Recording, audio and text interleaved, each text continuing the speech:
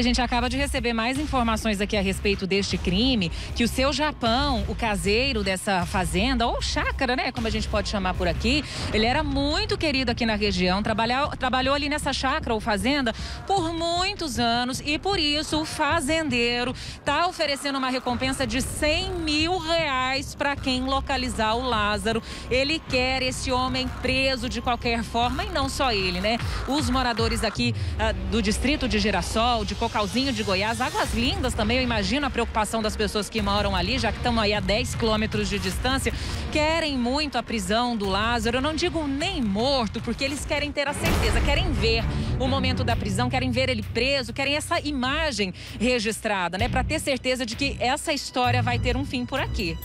Obrigada, Natália. Olha, uma informação. Obrigada, Natália, de verdade. Mas atenção, telespectador do estado de Goiás e também ali do entorno, que a gente sabe que a gente pega aqui o nosso canal, o nosso Cidade Alerta Goiás. Muito cuidado, porque essa informação, que é legítima, verdadeira, trazida pela repórter Natália Mendonça, ela também é de extrema periculosidade. Não saiam em busca do assassino. Esse é o trabalho da polícia.